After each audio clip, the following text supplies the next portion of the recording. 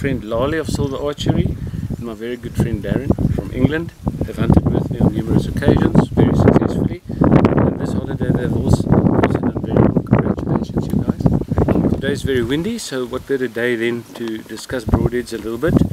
My name is Benito van Leeuwen and I've hunted for 40 years already in Africa and broadheads have come and gone and many of them here stay and uh, I'm a bit of a traditionalist so I'm not the super lightweight arrow guy. A lot of guys like arrows 300 to 400 I consider them lightweight 400 to 500 medium and above 500 moves to the heavy category 5 to 600 is quite nice. And of course if you really want to shoot the big things like buffalo giraffe you've got to go even heavier to say 700 just be careful to make your arrow too heavy. There is such a thing as too heavy. The arrow gets too slow then trajectory is totally lost even though you just shoot 20 yards and you go from 20 to 30 there's a pronounced trajectory.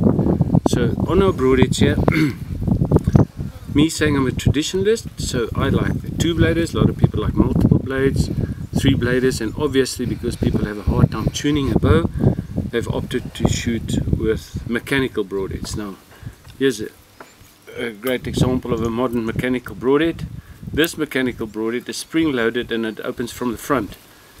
Now, too much energy is lost and wasted in that opening process. To get to that point, some of these broadheads you lose up to 50% of the penetrating capability.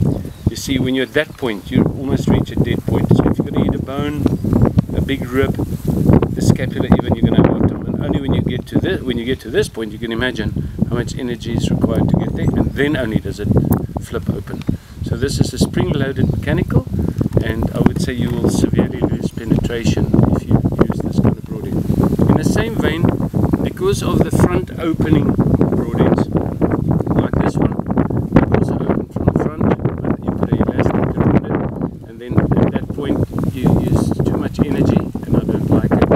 And it's too big, if you're going to hit bone, the blades break, I'm not crazy about that. Um, in modern days the rage became the rage because they fly like a field point, people love them, and they develop more like what we call a slip cam.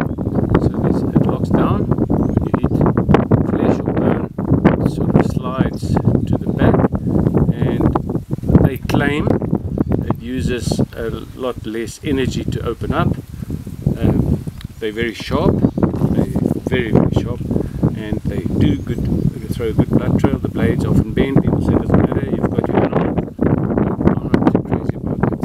very big rages uh, also diminish the penetration factor and they clog up, especially if you shoot a severe angle from the back forward into the en engine room, uh, you clog up with um, stomach material. So not my first choice.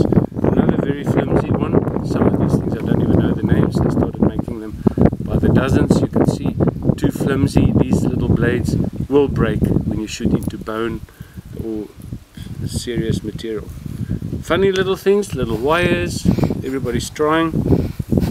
Old one, Wensel Woodsman. Why was this a popular one? Why it's good? Because it was the one in three principle. Three one and that gives you the perfect incidence for better penetration. So as a solid construction three blader, the Wensel Woodsman is still one of my favorites and it's a very old style Then this broadhead is a two-blader, it's Shakoti. Uh, it's a very nice one, it's very strong. And uh, this is actually just the Shakoti practice blade.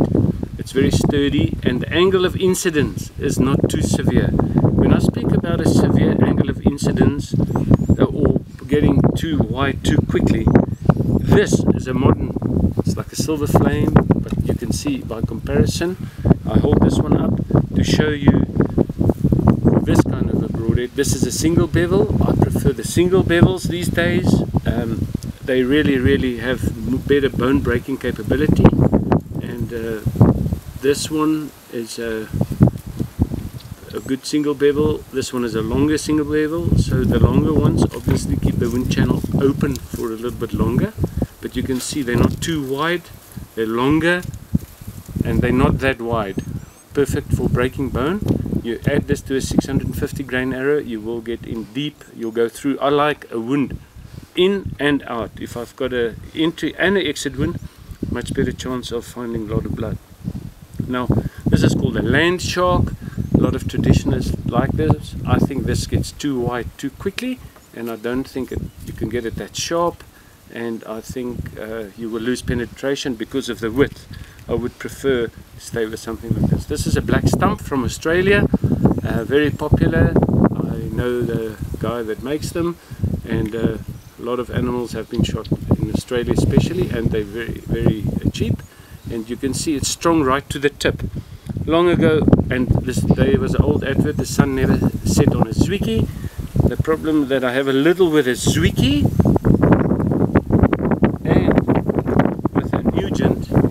broadies have shown numerous animals, hundreds and hundreds. It's from where, where it starts, where the blade starts, that part's too long and they bend over if you hit a really big bone. If you shot a really big bone, um, I would rather nip off the end a little to give it a bit of a chisel point, but that point there, that is too long and it will curl over if you shoot a really big animal. So I actually want, when you put the adapter in, the adapter must go really, really very close to the nose as is the case on the black stump. So the tip will not curl over too easily if you can see that there the comparison yeah, from the Zwickey to the black stump. You don't want that too long. If that's too long nip it off to create your own chisel point. So a lot of these things this is a, also an old one. This is an Australian made one. It's called a Riptech that part is also a little bit long for me and it curls over a little bit. But not a bad one. This is called a Howard Hill. Howard Hill and Jerry Hill. You can see once again long thin. This is double-edged but these days I prefer the, the single bevels this kind of thing that people have brought out I think it's called a toxic or something. Toxic. anything with a curved blade curved blade like that if you're going to hit bone it will slow it down dramatically. If you shoot this um, you will see you might have a lot of success with it but it doesn't work. Anything that's piston operated like this I don't like.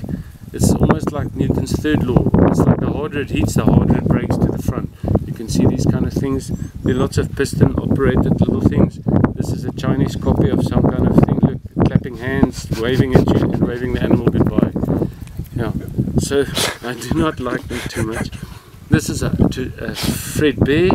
Everybody knows Fred Bear. This edge gets very very sharp very beautiful hunting broadhead. So anything curved blades anything too boxy I will call, show you a couple of boxy broadheads. That's too boxy. It widens up flares out too quickly. It'll stop too quickly. Too many blades multiple blades like this one. I don't know the names of all of these but the multiple bladed uh, broadheads if you shoot an angling shot, I like a slightly quartering shot forward into the engine room. But if you go too far back and you go in uh, in the stomach, multiple blades, big holes will clog up and you will lose penetration. And anything that moves will steal the energy. So folks, please believe me. And if you shoot a traditional two-blader like these guys, Zwickeys, Ted Nugent, the new single bevels, and sharp and you have a nice quartering away shot, you have a much better chance of going right through the animal, two holes better than one, and a little bit of tuning. If you're able to tune, maybe your arrow is a little bit too fast to steer one of these. Bring your poundage down a little bit, add weight to your arrow, and you can make a two-blader fly as good. People say they're plain, that just means you do not know how to tune. So after the break we will